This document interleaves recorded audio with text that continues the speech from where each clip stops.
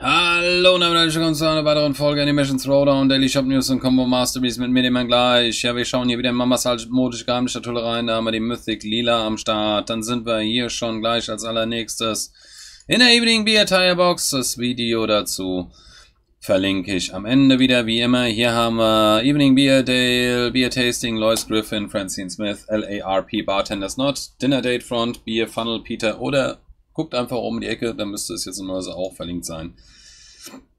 Hier die ganzen Combo Masteries dazu, wen es genauer interessiert. Das gleiche mit der Whisky Bartender Box, Tire Box mit Beer Tasting, Whisky Bartender, Francine Smith, Thunder Cocktails, Beer Festival, Klaus Heißler und diesen ganzen Kombos hier. Auch dazu Link oben rechts in der Ecke und am Ende des Videos.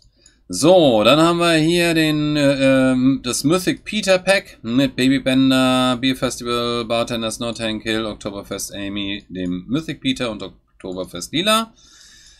Auch eine interessante Box auf jeden Fall. Und dann sind wir auch schon in der Daily Combo Mastery angelangt. Dann haben wir hier als allererstes den Roger in Disguise.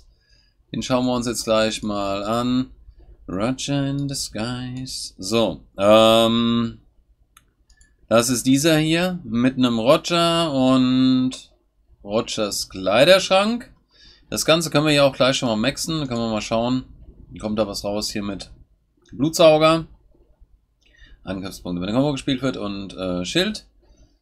Und dann gibt es das Ganze hier nochmal in der Mythic-Version. Ja, meiner Meinung nach lohnt es nicht, da jetzt 500 Gems rein zu investieren. Aber das muss jeder für sich selber wissen. Also ich mache es nicht und ich würde es auch nicht tun, selbst wenn ich sie hätte. So, dann hätten wir den Bluegrass Hank. Hier mit ähm, Hank Hill und äh, ja, da unten mit der Fahrtschool. Also für, mit der Furzschule für Hochbegabte. Auch hier wiederum relativ uninteressant. Das Ding können wir gleich wieder wegklicken. So, auch dafür sind 500 einfach zu viel. Draw Me Gene. Nächste Combo, die wir uns genauer anschauen werden, das ist diese da. Draw Me Gene mit einem Eugene Belcher, den kann ich eigentlich jetzt gleich schon maxen. Dann gucken wir mal da unten rein, was da passiert. Eugene Belcher mit der Napkin Art, Set Clown, Zeb Brannigan Portrait, Christabel's Painting, Peter's Drawing, Ghost Boy Miguel und dann haben wir auf der rechten Seite Cripple und also Lähmen und Gas und du kriegst Angriffspunkte. Da sind die Werte natürlich schon richtig gut, muss ich sagen.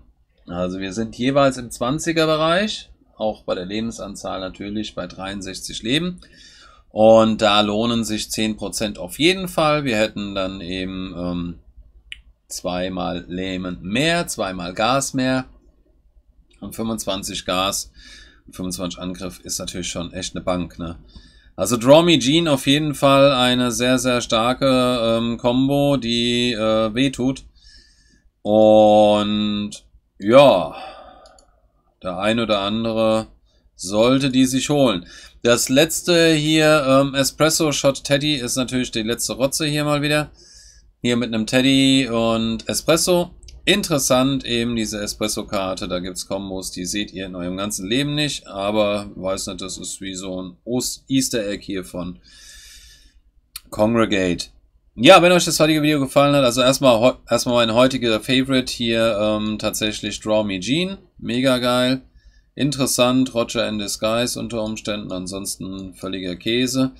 Wenn es euch gefallen hat, lasst mal einen Daumen nach oben da, schreibt was in die Kommentare, abonniert den Kanal und schaut sich mal an, wenn es wieder heißt Animations Roller mit mir dann gleich. Schaut rein, macht's gut, bis dann und tschüss.